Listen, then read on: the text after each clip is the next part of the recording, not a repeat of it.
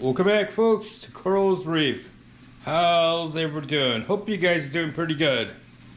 We're back at the tank, and everybody's doing happy. And everybody's doing fine in this tank. See my purple tang. He is swimming around doing nothing. Firefish, Goby. He's just hanging out, lonely. And you can smell other goby I have down here.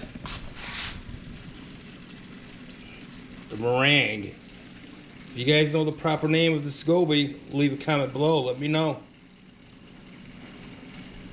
But this is a beautiful one there. I just got like a couple weeks ago from the fish store. Believe it or not, the guy sold it to me for 40 bucks. And you can see my tank is not cloudy today. Not cloudy. This goby, Diamond Goby, is not making a mess today. He's behaving. Amazing. Very surprised that he's behaving. But I want to tell you a little trick what I'm using in my tank to keep my corals looking as good as it's looking right now.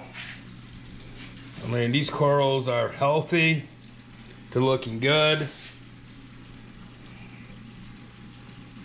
And they're kicking it. I want to still tell you guys the trick I'm using, and I'm I, I believe that it's part of it because before I use I didn't use before before I start using it, my corals in my other tank wasn't really doing that great.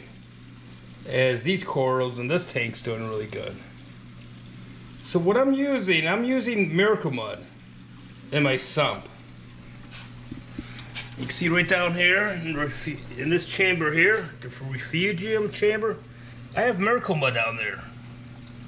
And there's about five pounds of Miracle Mud. And I'm, I'm a believer in this. I think that this really is helping my tank and my corals looking as good as they possibly can in an aquarium. So like I said before, I'll, in my 29 gallon tank, I was not using Miracle Mud. And my corals was not looking at its greatest like it's now. But using this Miracle Mud, it really, I believe it helps.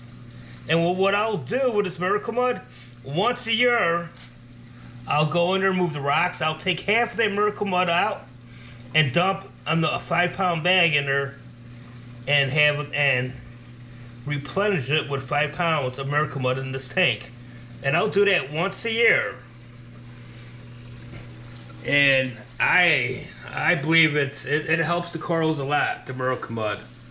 So let me know, guys, if you, you ever use Miracle Mud, what's your experience with Miracle Mud? Did your tank improve? Didn't improve? Didn't show no, no results. You know, let's hear from you guys. Well, if you guys ever experienced Miracle Mud and and how you how your aquarium and your corals um, react to it. So leave it in a comment below. And I'd like to know your input about this Miracle Mud. If you guys like it. But I've been using it now. I don't know, I gotta say about maybe three years. And these corals are looking happy. And this goby, he's just staring out. So that's a little update on my tank, just to let you know, guys know what I'm using inside my tank to get my tank looking as good as possible. And I believe that Miracle Mud is the trick. And that's why my tank's looking this good. So I'd like to know your feedback. Let me know what you guys are using in your sump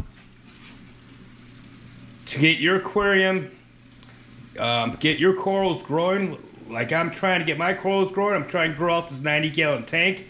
Like I said, when I get the bigger tank, these corals will stay in here and I'm going to be adding more corals. This tank here will be a 90 gallon coral tank, no fish. Be all corals in this and my bigger three 400 gallon aquarium that I'm getting in a couple months is going to be a mix, corals and fish. All right, folks.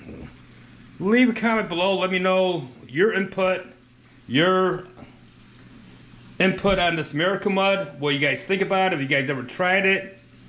And I like to hear, to get some feedback from you guys out there and gals out there.